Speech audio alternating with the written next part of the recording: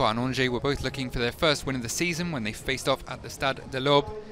Angers had taken two points from their opening three games, suffering a disappointing 3-1 loss last time out at home to Brest, certainly not helped by Halid Sabanovic's early red card.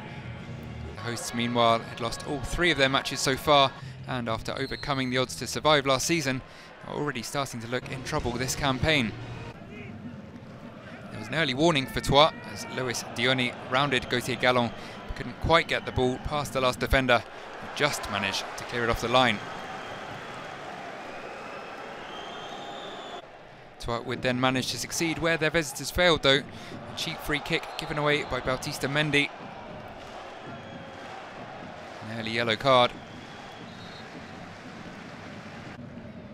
And then a pinpoint free kick from Rony Lopes was met with an even better header from Renaud Ripart. Understated celebration with a quite exquisite effort the ball looping into the top left corner, leaving Paul Bernardoni with no chance. And the visitors' task would then be made harder still as Mendy earned himself a second yellow in a very early bath after just 20 minutes. Hands out in disbelief. The studs certainly up too. See the pressure increase. Ball laid up on the edge of the area. Only a good diving save from Bernardoni kept the deficit at one. Rony Lopes then also had the keeper airborne with a testing free kick.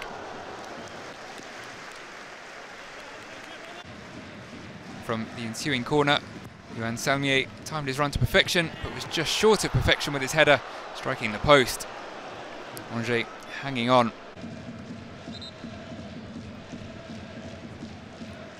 Troyes had won only one of their six top flight matches against Angers, 3-0 victory in 2017 at the Stade de l'Aube. The way things were going, that looked very likely to be increased to two here. So into the second half. Baticle looking fairly worried. Rightly so, as the hosts picked up where they left off in the first half. Ripart again testing the keeper from distance.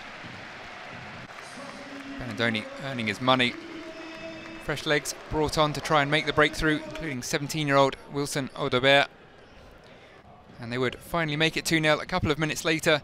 Some excellent interplay, setting up Thierno Balde to find the bottom right corner.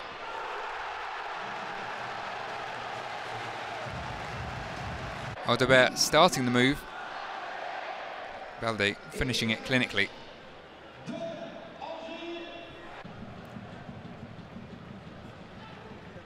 Perhaps resting on their laurels slightly, the hosts let their guard down, saw their buffer halved just five minutes later, as Diony did this time find the net. Gallon frustrated. In truth, little he could do about the deflected shot. A nice flick on from Wanis Taibi to get the ball there in the first place. Down the other end, almost a goal of the season contender when captain Adil Rami, of all people, unleashed a firecracker from about 30 yards out. Swerved its way onto the top of the bar. The third would come from a young man less than half the age of Rami.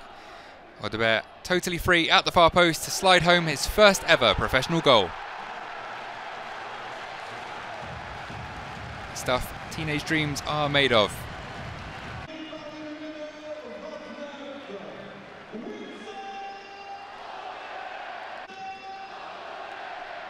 One final free kick to defend for Estac. But the job long done. 3-1 the final score.